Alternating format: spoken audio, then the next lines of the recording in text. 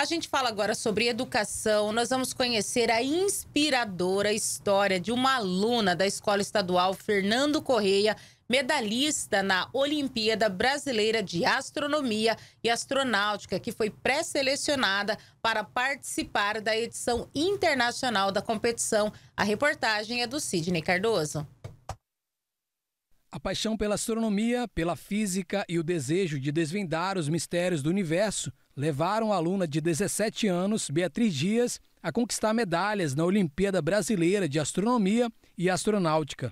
Estudante dedicada e curiosa, ela encontrou nos estudos dos astros uma oportunidade de expandir seus horizontes e seu desempenho brilhante a colocou entre os destaques nacionais. Eu não conhecia muito bem essa área até eu fazer a OBA pela primeira vez. Aí eu comecei a consumir conteúdo de divulgação científica, então no YouTube, nas redes sociais. E eu fui comprando livros, por exemplo, do Carl Sagan, do Stephen Hawking, e isso foi crescendo em mim. Aí eu comecei a ver que era tudo muito fascinante, porque a gente tem uma história compartilhada com o universo. E tem uma frase também do Carl Sagan que ele dizia que a gente veio das estrelas, os nossos átomos, tudo já teve em outros lugares do universo. Então, a humanidade é uma forma que o universo encontrou, que o cosmos encontrou de conhecer a si mesmo. E eu quero fazer parte disso, eu quero ajudar a entender como o universo funciona. Beatriz nasceu em Três Lagoas e sempre estudou em escola pública.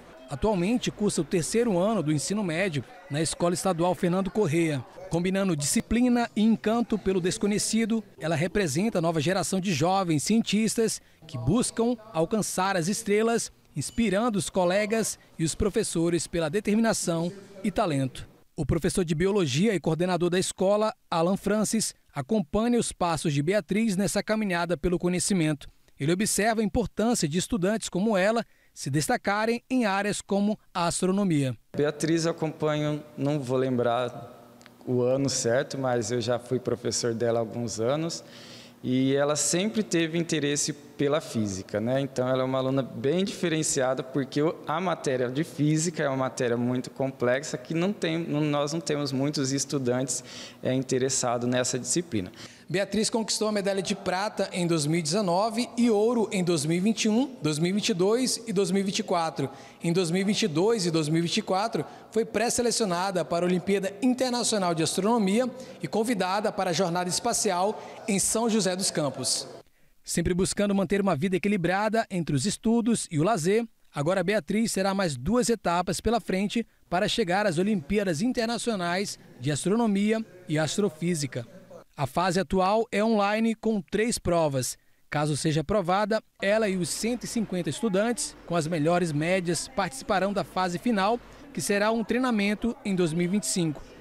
Além disso, Beatriz sonha em cursar uma faculdade e construir uma carreira na área da física, desejando um futuro brilhante também para os seus colegas estudantes.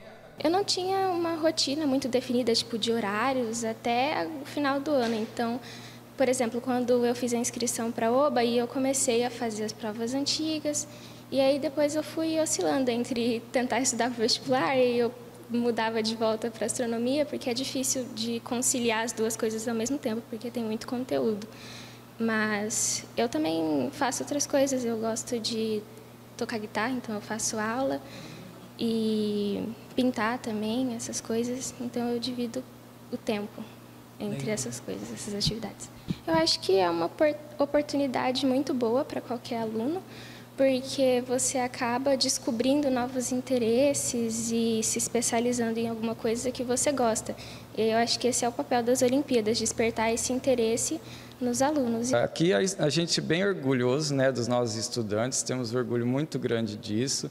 A Beatriz, ela é destaque, outros também já foram destaque. Isso é muito importante para a escola, principalmente por sermos uma escola pública, né, a educação pública, ela se destacando, ela é uma estudante que foi se comparado com escolas particulares que não atingiram, né? então é muito importante.